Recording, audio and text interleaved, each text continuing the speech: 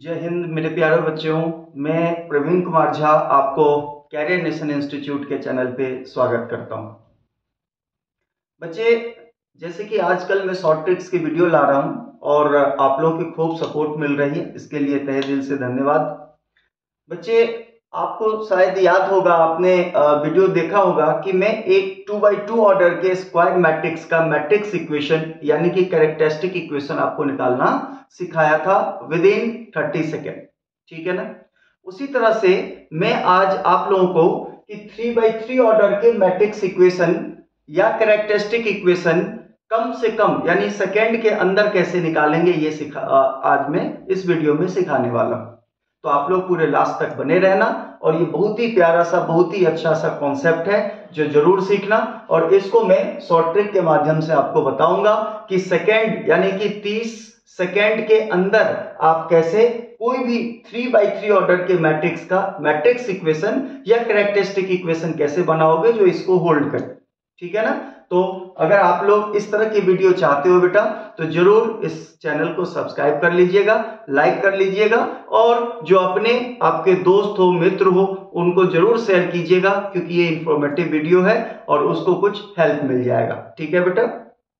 चलिए तो यहाँ पे आप ये कॉन्सेप्ट को सीखिए, ये शॉर्ट ट्रिक को सीखिए। इसमें क्या है कि एक आपको मैट्रिक्स इक्वेशन बनानी है, जो थ्री बाई थ्री ऑर्डर का मैट्रिक्स के लिए होगा। ठीक है?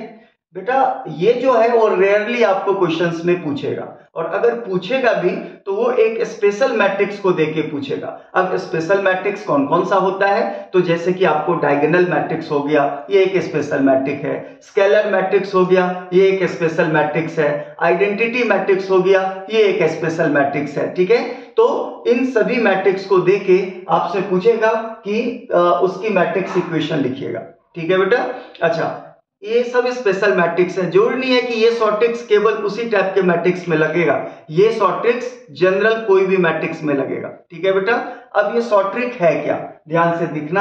आपको ऐसे एक मैट्रिक्स दिया रहेगा जो थ्री बाई थ्री ऑर्डर की मैट्रिक्स होगा। ठीक है ना?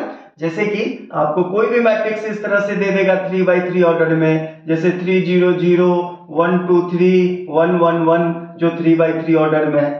लेकिन ध्यान रहे, ये इसकी लिमिटेशन है। कि ये केवल और केवल थ्री बाई थ्री ऑर्डर में ही काम करेगा। तो अदर ऑर्डर के जो मैट्रिक्स हैं, उसमें ये नहीं लगाओगे। और क्या लगाना? टू बाई टू ऑर्डर का तो मैं पहले से बता रखा हूँ, और ये क्या है बेटा? थ्री बाई थ्री ऑर्डर का है, ठीक है? तो देखिए, इस तरह के अगर कुछ मैट्रिक्स दिया रहेगा, और उसका मैट्रिक्स इक्वेशन या करेक्टरिस्टिक इक्वेशन आपसे पूछे तो इसका शॉर्ट ट्रिक्स क्या होता है? इसको मैं रिवील करने जा रहा हूँ आप लोगों के साथ। तो अच्छी तरह से सीखिएगा। चलिए अब देखो इसकी शॉर्ट ट्रिक्स हमें लिखना कैसे है? तो आपको एक थर्ड ऑर्डर का, यानी कि क्यूबिक इक्वेशन का एक स्ट्रक्चर लिख लेना है सबसे पहले, ठीक है ना? तो क्यूबिक इक्वेशन किसका लिखेंगे बेटा? ए का। तो स्टार्ट करेंगे ए के पावर थ्री से। फिर आएगा बेटा ए का स्क्वायर फिर आएगा बेटा ए और फिर यहाँ पे लास्ट में डिटर्मिनेंट ऑफ़ ए लिख देते हैं। और इसको इक्वल टू क्या रखेंगे? ज़ीरो ठीक है? अब ध्यान से देखना। बेटा ए का क्यूब जो है, उसकी कोफिशिएंट हमेशा के लिए वन रहता है। इस चीज़ को आप लोग माइंड में रख लेना। ए स्क्वायर की कोफिशिएंट में लंडा लगा देते हैं और एक ए के कोफिशिएंट में बेटा म्यू लगा देते हैं। क्लियर है? और इसके साथ बेटा आइडेंटिटी मैट्रिक्स चलता है, जो आप लोगों को पता होगा। ठीक है? तो ये एक क्यूबिक ऑर्डर यानी एक क्या हो गया बेटा? क्यूबिक इक्वेशन का एक स्ट्रक्चर है। ठीक है? अच्छा इसमें अब क्या आएगा? साइन आएगा प्लस माइनस तो इसके लिए भी याद रखना, ये अल्टरनेट चलता है पॉजिटिव निगेटिव पॉजिटिव निगेटिव इस तरह से। तो पहला वाला पॉजिटिव अगला वाला क्या हो जाएगा? निगेटिव फिर पॉजिटिव फिर निगेटिव लो, ये बन के तैयार हो गया आपके इस ए का मैट्रिक्स इक्वेशन जो इस ए को होल्ड करे, यानी ए इसका क्या है बेटा? रूट हो। ठीक है ना? चलिए, अब बात आता है सर, ये लेमडा क्या है और ये म्यू क्या है और ये डिटर्मिनेंट ऑफ़ ए तो आपको पता ही है। तो लेमडा क्या होता है? ये कुछ और नहीं है बेटा, वो ट्रेस ऑफ़ मैट्रिक्स ए को ही हम लोग क्या बोलते हैं? लेमडा और ट्रेस ऑफ़ मैट्रिक्स कैसे निकलता है आप लोग को पता होगा? क्या है बेटा? Sum of sum of diagonal diagonal elements यानी डायगोनल एलिमेंट्स का जो सम कर देते हैं वो मैट्रिक्स का ट्रेस वैल्यू होता है और यहाँ पे उसको हमने लेमडा से रिप्रेजेंट किया है। अच्छा अब बात आता है ये म्यू क्या है? तो और अच्छी तरह से इस चीज़ पे ध्यान दीजिए। म्यू का मतलब है sum of sum of minor sum of minor of main diagonal main diagonal elements elements ठीक है ना? बहुत ही इंपॉर्टेंट यानी कि मेन डायगोनल एलिमेंट इसको बोला जाता है बेटा थ्री टू वन इसके जो माइनर्स होंगे उसके माइनर्स का जो टोटल होगा यानी सम होगा वो म्यू की जगह पे आ जाएगा। और इस सिंबल से आप पहले से आपको वा, वाकिफ होंगे।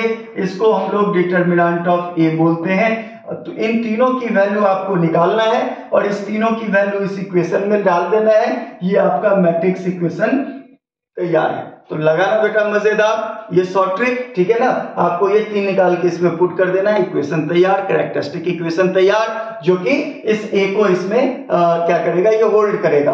और अगर आप इसको वेरीफाई करना चाहते हो तो ए को ए की जो वैल्यू है वो इसमें रख के देखना ये ज़ीरो के बराबर आएगा। क्लियर है? तो ये क्या था? Trick three by three order के मैट्रिक्स का मैट्रिक्स इक्वेशन कैसे निकालते हैं? क्लियर है बेटा?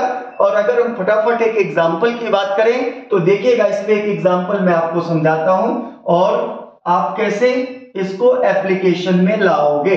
तो मैंने क्या बोला कि ये रेयरली होता है और ये दे भी देगा तो एक स्पेशल मैट्रिक्स के साथ देता है जनरली तो एक मैट्रिक्स हम लोग ले लेते हैं जो कि डायगोनल मैट्रिक्स है। यानी कि एक डायगोनल मैट्रिक्स को ऐसे लिखा जाता है बेटा कि थ्री बाई थ्री ऑर्डर के डायगोनल मैट्रिक्स, यानी कि आपके डायगोनल एलिमेंट के अलावा सारा एलिमेंट इसमें क्या होता है बेटा? ज़ीरो होता है। तो ये मैट्रिक्स हमारा क्या है? Diagonal matrix.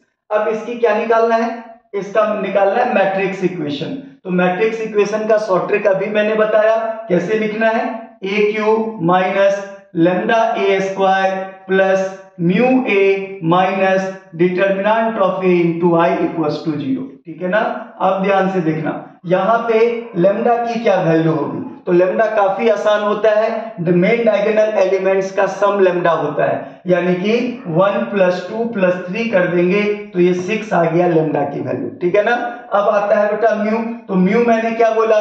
कि इसके मेन डायगोनल एलिमेंट्स के माइनर का सम तो ध्यान से देखना, है ना? ये इसमें हम माइनर भी बहुत आसानी से निकाल सकते हैं। अब सबसे पहले हम वन का माइनर निकालेंगे। तो वन को छोड़ दो, बाद बाकी डायगोनल में क्या बचा? टू थ्री इसको कर दो मल्टीप्लाई तो टू इंटू थ्री कितना हो जाएगा बेटा? सिक्स प्लस उसी तरह से अब मैं टू का माइनर निकाल रहा हूँ। तो टू का माइनर कैसे आएगा? अब टू को ढक लो, बाद बाकी जो बचा डायगोनल में वन एंड थ्री इसका प्रोडक्ट यानी कि वन इंटू थ्री कितना आ जाएगा थ्री प्लस अब मैं थ्री का माइनर निकालूँगा तो थ्री को ढक लीजिए। अब क्या बच रहा है बेटा डायगोनल में? वन एंड टू तो इसका प्रोडक्ट कितना हो जाएगा टू और इसको सॉल्व कर लेंगे तो इसका आंसर हो गया बेटा कितना? इलेवन ठीक है? अब उसी तरह से इसकी डिटर्मिनेंट वैल्यू निकालते हैं। तो determinant of of diagonal matrix क्या होता है? Product of elements of main diagonal तो इसके मेन डायगोनल के एलिमेंट्स का जो प्रोडक्ट आएगा, वही इसका डिटर्मिनेंट आ जाएगा। यानी one into two into three करेंगे तो ये कितने की इक्वल आ गया? सिक्स अब इन तीनों की वैल्यू को रख दीजिए। हमारा शॉर्ट ट्रिक से मैट्रिक्स इक्वेशन क्या बन गया इसका? ए क्यूब माइनस लेमडा की वैल्यू सिक्स है। तो six A square plus mu की वैल्यू इलेवन है तो eleven A minus determinant of A six आ गया तो six I equal to zero और कर दीजिए एक बार लाइक ठीक है बेटा? तो इस तरह के वीडियोस को आपको अगर चाहिए तो हमेशा इस चैनल के साथ बने रहना सब्सक्राइब ज़रूर कर लेना, और बेटा अच्छा लगा हो तो लाइक ज़रूर करिएगा। और जो आपके जो लवंस हैं, जैसे कोई मित्र हो, उनको ये ज़रूर शेयर कीजिएगा ताकि उसको कुछ लाभ यानी कि फ़ायदा हो जाए, ठीक है? तो आज के लिए इतना ही। मैं प्रवीण कुमार झा, आपको आज के लिए इतना ही। जय हिंद।